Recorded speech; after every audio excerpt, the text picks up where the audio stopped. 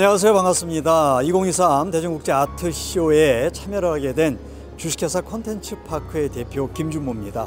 어, 저는 이번에 음, 디아르테 뉴텍이라는 명으로 회사 명으로 참여를 하게 됐고요.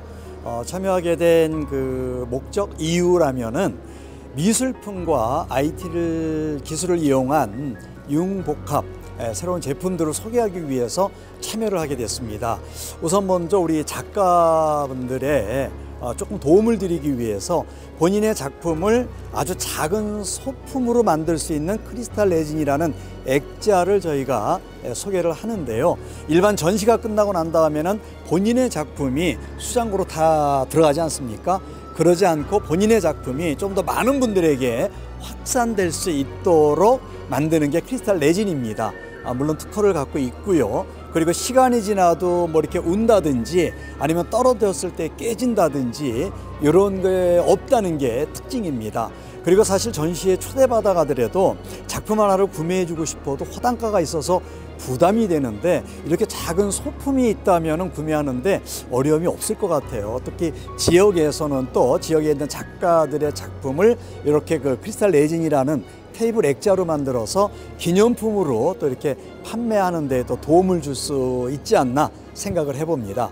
그리고 또 하나의 저희가 갖고 온 제품은 아, 아트박스인데요. 아르테 아트박스. 요거는 아, 국내 최대의 종이회사와 함께 특허를 내서 벌집 모양의 케이스를 만들었습니다.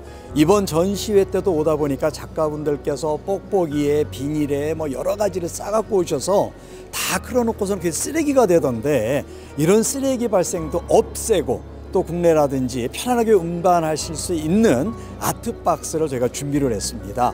많이들 지금 관심 갖고 계시고요. 중국에서 오신 작가들도 어, 이게 처음 봤다 그러면서 사진도 찍고 굉장히 관심을 가져준 그런 제품이 되겠습니다. 또 하나는 이제 대전이 과학도시인데 IT 기술을 접목시킨 전자 도록이라는 걸 제가 갖고 왔습니다.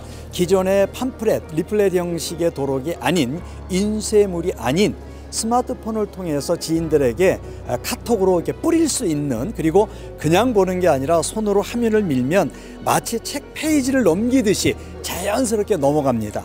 거기에다가 또 작품이 있으면 그 작품을 터치하면 그 작품에 대한 소개가 링크를 타고 들어갈 수 있는 이런 기술을 만들어 왔습니다. 그래서 작가분들께서 굉장히 관심 있어 하시고요. 또 하나는 이제 내가 전시한다 그러면 이제 포스터 포스터에 내 얼굴만 나오는 게 아니라 얼굴을 타치하고 작품을 타치하면은 역시 링크를 타고 들어가 들어가서 거기에 대한 설명을 아, 본인이 어, 정확히 알 수 있는 그런 제품들을 가져왔습니다.